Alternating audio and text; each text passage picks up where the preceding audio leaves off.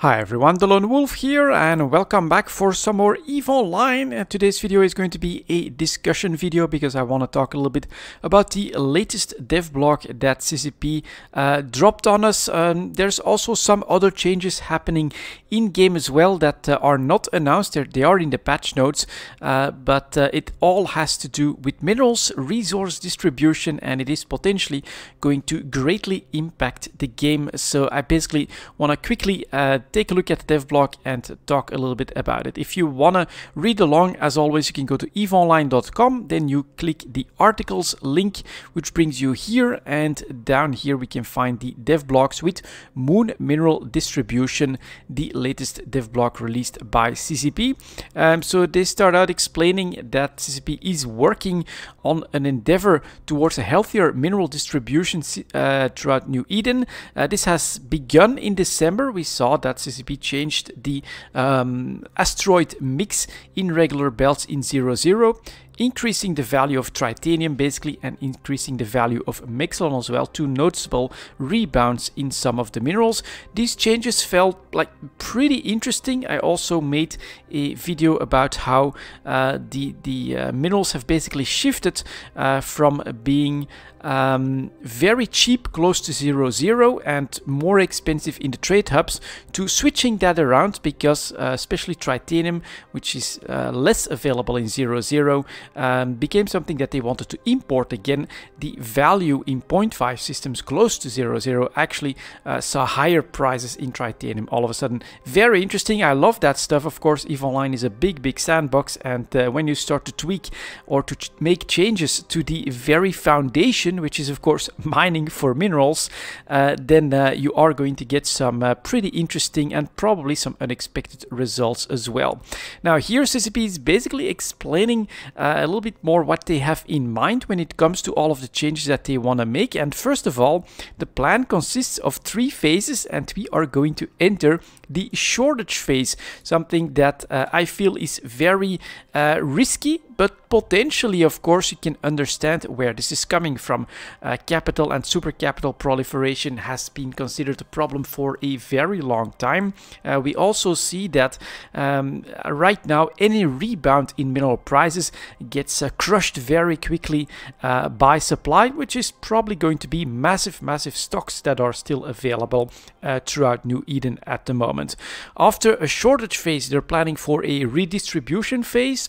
Um, if the current uh, if the current changes give us any uh, clue as to what is happening, my personal expectation is that they will uh, go back to a system where you actually have uh, regional differences. I feel like it's not an accident that uh, tritanium went up in value and is something that is very easy to mine in at much lower yields in high sec uh, and that they basically also want to give high sec miners something to do something of value something that basically they control the market for. Uh, so the redistribution I, I, I think uh, is going to be very interesting but the most interesting part of course is after that they want to go to a dynamic distribution phase uh, something that we've seen CCP Hilmar talk about uh, in some of um, the latest appearances that he's done uh, throughout the um, EVE Online World Tour.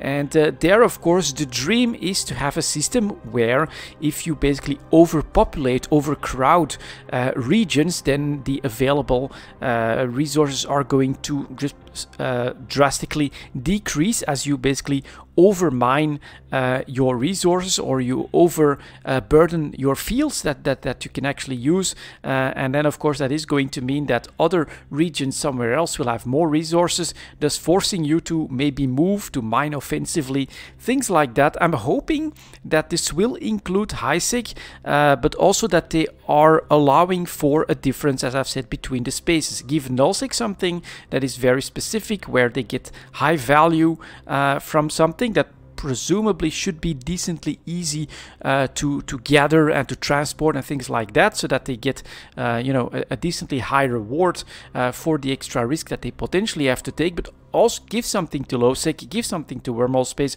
and give something to high sec um, which can be like the, the cheapest minerals in the mix of course but at least give them something so that that there's a reason to mine there as well. I feel like that's part of a necessary balance uh, in EVE Online. But yeah, a dynamic distribution system I think is something that everyone would love, right? Uh, if you overdo it in one place, you're going to eventually be forced to look for greener pastures, which should of course increase conflict as well, unless um, the EVE Online community becomes so organized that they'll just start to find the best uh, turnover uh, in the in this dynamic system. Uh, but we'll see how that works out, of course.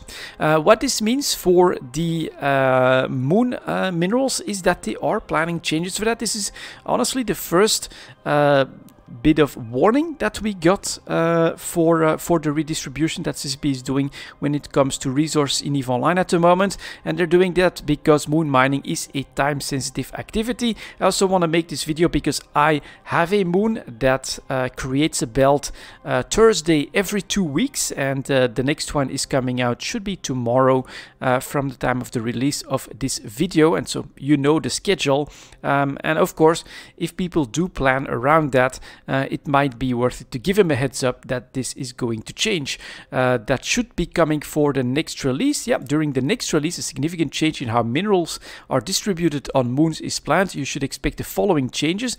Complete removal of all basic ore types from all moons. I'm not exactly sure what that means yet because mine have like Arkonor, Gneiss, then one uh, Tech 2 variant basically for, for the good old moon minerals. Um, from the old moon mining system and then there's there's one more i think arkonor is is, is probably the most valuable uh, that uh, that I have there because of its yield of um, of megacyte. Uh, but yeah, also expect adjustments on ore volumes extracted per day per moon. So is that going to be a nerf? Is that going to be a buff in certain regions? We can't be sure just yet. And then also adjustments on moon ore type yields of basic minerals we can expect, I think, a big nerf there in the basic minerals that will be yielded by uh, these moons. If CCP wants to have a shortage phase, what they cannot afford to have happen, of course, is that all the big alliances just start to mine every single moon available in the game uh, just for those minerals. Uh, if they want some actual depletion there, they are going to hit this as well. And this is basically their warning. Uh, they're also saying that uh, they're going to closely monitor all of that. It is understood that the changes changes that will go live throughout phase one, so that's probably going to mean the shortage phase, will affect the macroeconomic environment and the market reaction will be closely monitored. Predictions have been made and the readiness to take measures is in place.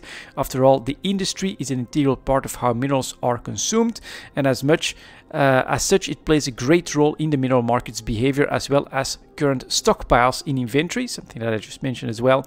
No stone will be left unturned in the mission towards a better future. So this dev devblog I find very interesting when it comes to trying to understand the plans that CCP has when it comes to the resource distribution. If we look at the patch notes as well and the nerfs when it comes to the uh, available availability in anomalies in 0.0, uh, it's pretty obvious that they want a real shortage phase, that they're willing to take very bold steps. Now I'm going to give this a little bit of time to make sure that CCP hasn't made any mistakes because uh, like uh, um, 1000 of the previous number feels kind of crazy. Uh, so, so let's make sure that everything is exactly the way CCP plans uh, to bring it out. But if that is the case, uh, we should see a massive, massive impact on the um, mineral market number one, of course, but also potentially the compressed ore market could be something to look into uh, if CCP uh, with their dynamic system, maybe even with their redistribution as, as well, and with the shortage phase, of course, uh, does create real bottlenecks and the need to export and import certain minerals, depending on the space where you're doing your industry, it could be a huge, huge buff uh, to compression. And so uh, don't just start refining everything because minerals are going up. Uh, I would say be a little bit patient. we'll have to see how all of this works out. But I find it very, very fascinating. This is both very risky, but I agree that for the long-term health of the game, uh, something like a dynamic distribution phase uh, is of course the ultimate goal. And uh, if CCP is now making a roadmap and finally making changes to the game towards making that happen, if that is the final stage of all of these changes, I think uh, that I'm absolutely absolutely on board with that, and uh, it should make EVE Talk very, very interesting uh, in the upcoming weeks and months. So I look forward to that. Um, I'm going to keep my moon running, uh, just as I've been doing for the last, what is it, one and a half years or so, two years maybe even. Uh, every uh, Thursday, uh, every two weeks is when I, I create a belt there. We'll see how this changes when it comes to the mineral distribution, because all of that is going to change with the upcoming release. But my plan right now is to ride out the storm and then to adapt if need be, uh, because of course mining Veldspar could become very, very profitable all of a sudden uh, in an Orca with augmented mining drones. Um, super, super interesting times for me personally. Uh, a shortage phase is not what I would have expected. Um, I, I while I can understand the logic of it, there is definitely this big risk of, well, incredibly expensive 1 chips. All of a sudden, is this going to um, discourage uh, alpha players from... Um, you know, from from uh, getting straight into the PvP and things like that. On the other hand, you know, earning your first battleship can finally have some real value again. Uh, it's it's gonna be super interesting, I think, and uh, yeah, we'll definitely have to keep a close eye on that. Let me know in the comments what your thoughts are. Uh, thank you very much for watching, and as always, I'll see you next time.